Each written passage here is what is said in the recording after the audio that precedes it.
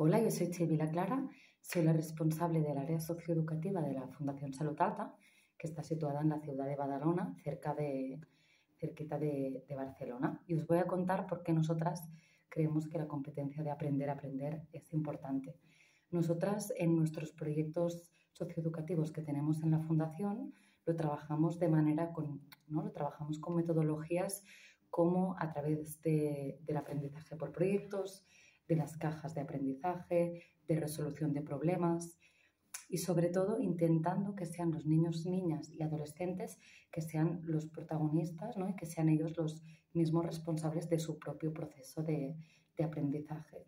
Sobre todo siempre también de manera colaborativa e intentando que ellos mismos entiendan qué mecanismos les ayudan y qué no a poder descubrir las cosas, a aprender, ¿no? a, ir, a ir preguntándose y, y avanzar, ¿no? ¿Cómo lo, ¿Cómo lo llevamos a cabo? ¿Cómo lo conseguimos?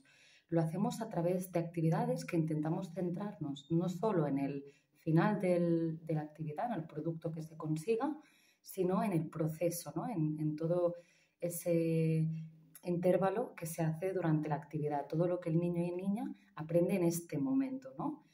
¿Cómo lo hacemos? Lanzamos preguntas, nosotras estructuramos la sesión y ponemos al alcance de los niños, niñas y adolescentes todas las herramientas que puedan necesitar para poder resolver, preguntar y, lo que necesiten.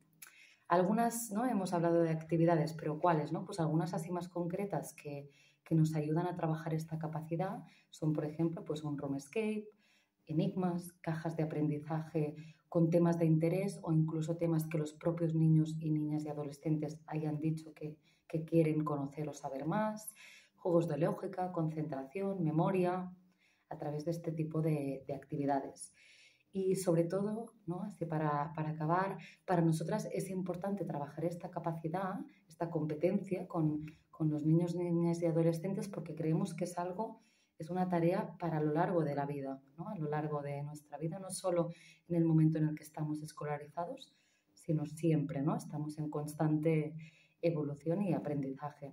Y además creemos que puede ser una fuente de inspiración, incluso superación, buscar ¿no? aquello que desconocemos o que queremos saber más, cómo nuestras capacidades para resolver eso, ¿no? qué capacidades se ponen en juego y eso te predispone a aprender, ¿no? Y, esa, esa sensación de éxito cuando has conseguido resolver algo que te, que te creaba dudas o que querías saber más.